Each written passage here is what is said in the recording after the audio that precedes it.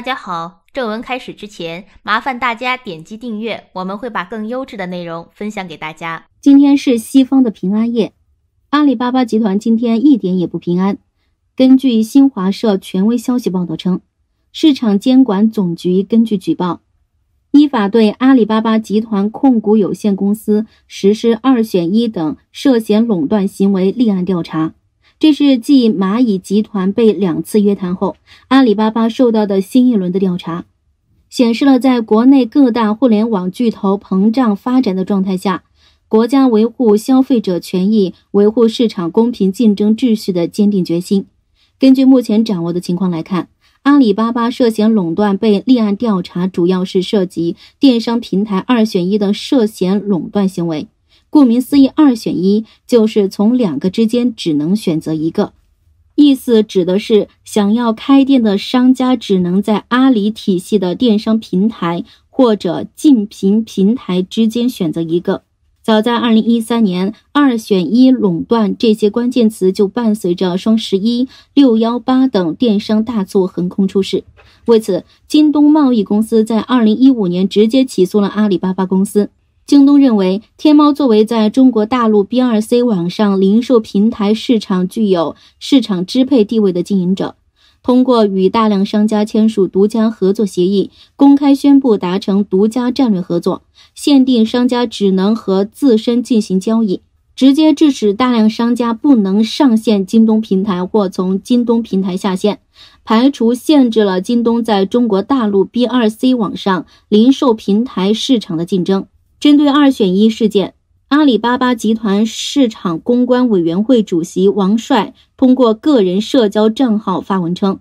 所谓二选一，从来都只是一个伪命题。如果大家没记错，二选一原本其实是某些企业用来竞争的手段。平台不是土豪，成本也不是大风刮来的。大促活动的各项资源天然稀缺，只能向最有诚意、最积极参与大促活动的品牌商家倾斜。”这是最朴素的商业规则。此事经过发酵，最终导致阿里巴巴涉嫌垄断被立案调查。反垄断法第三条规定，本法规定的垄断行为包括三种：一、经营者达成垄断协议；二、经营者滥用市场支配地位；三、具有或者可能具有排队、限制竞争效果的经营者集中。就目前来看，阿里巴巴并不存在经营者达成垄断协议的行为。笔者认为，阿里更符合经营者滥用市场支配地位的规定。阿里的二选一操作涉嫌属于第十七条第四项规定的情形。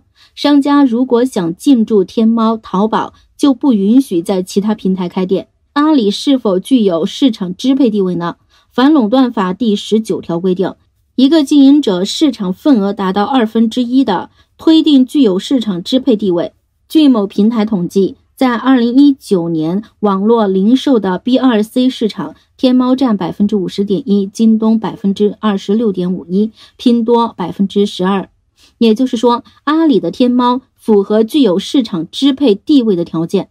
最终会如何处罚？反垄断法第四十七条规定，经营者违反本法规定，滥用市场支配地位的，由反垄断执法机构责令停止违法行为，没收违法所得，并处上一年度销售额百分之一以上的百分之十以下的罚款。短短三个月，中国人民见证了马云先生在上海金融峰会上的高调惊人之语，到现在的缄默不言，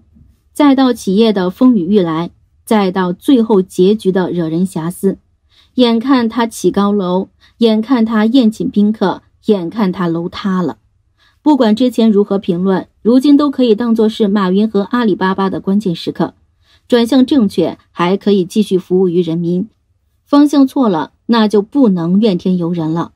反垄断调查二选一，约谈蚂蚁金控集团，只是吹响一声号角，竖起一面旌旗。垄断是肯定的，金融架空实业，移动支付已经关乎国计民生，过度消费富寡穷民。花呗在最近甚至还悄悄地降低了年轻人的额度，和之前引起巨大争议的公投用花呗给女儿过生日的广告形成鲜明对比。此前，我对我国经济结构认知是全民所有的资源型产业，如矿产、电力、铁路，由国有企业代为管理，国家调控影响多一些；生产与服务等需要活力的行业，则开放给民营企业经营，市场供需关系的影响多一些。没想到，我还真是太天真了。互联网企业的兴起和快速发展，居然超车法律法规和监管，模糊了资源与服务之间的界限。当他们做电商、通讯、游戏时，确实是服务于行业；但当他们通过平台，利用庞大的用户数量，触手顺着上下游无限伸展，压榨员工与产业链，以擦边球消灭潜在对手，在某个渠道形成垄断后，反而掌握了最庞大、最具有影响力的新资源。垄断之后的服务商掌握了新时代的资源，变成了商业帝国，绕过出版监管。便捷程度远超纸媒的舆论资源，可以掌握国民的眼睛与耳朵，绕过隐私保护，强制调取便捷程度远超传统调研的国民大数据资源，可以掌握国民的想法和行为，绕过金融监管，便捷程度远超合规金融机构的金融渠道资源，可以用看似很低，实则巨高的资金成本诱导国民提前消费。制造、金融、细农为其劳动，三件合一，最终完成由服务生产资本到由资本生产资本的阶级蜕变，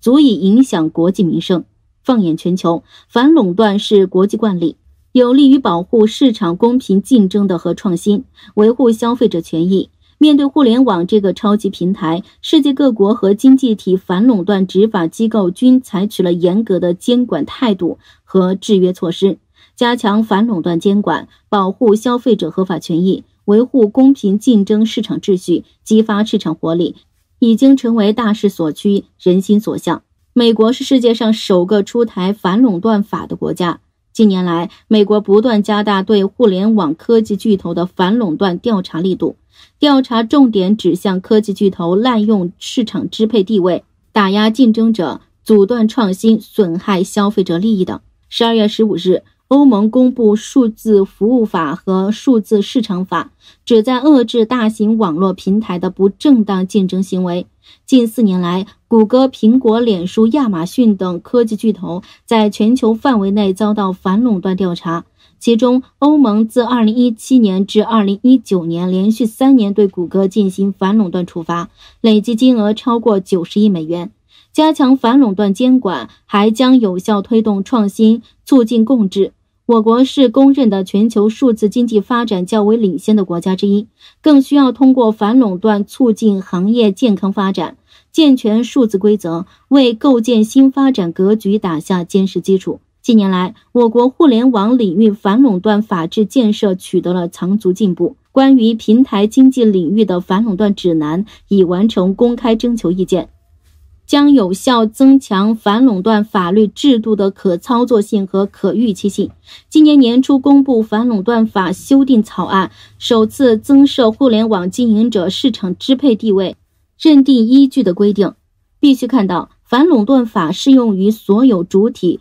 对内资外资、国有企业和民营企业、大企业和中小型企业、互联网企业和传统企业一视同仁，平等对待。目的是要保障各类市场主体平等参与市场竞争。只有不断完善平台企业垄断认定、数据收集使用管理、消费者权益保护等方面的法律规范，维护市场公平竞争，才能推动整个行业保持创新活力，实现健康发展。不以规矩不成方圆。此次立案调查，并不意味着国家对平台经济鼓励支持的态度有所改变，恰恰是为了更好规范和发展平台经济，引导促进其健康发展，以期为中国经济高质量发展做出更大贡献。相信通过加强反垄断监管，能够消除影响平台经济健康发展的障碍，平台经济也将迎来更好的发展环境。一个人的富有，一个资本企业的富有，是时代创造的，是国家人民给的。它不能超出时代，不能超越国家来围猎人民。人民穷就是国家穷，这就是问题所在。而对阿里巴巴的反垄断调查，并不是针对互联网时代下的互联网企业，也不会危及阿里目前的江湖地位，而是要确定一个规则、一个原则。不管是互联网企业还是别的什么行业企业，他们都必须要是为国家计、为人民计的。任何个人、任何企业胆敢越过国家，企图以资本围猎人民，都要打，必须打。今天的节目就到这里，喜欢的朋友别忘记点赞、分享、订阅，你们动动手指，对我可是意义重大。就这样，我们下期见。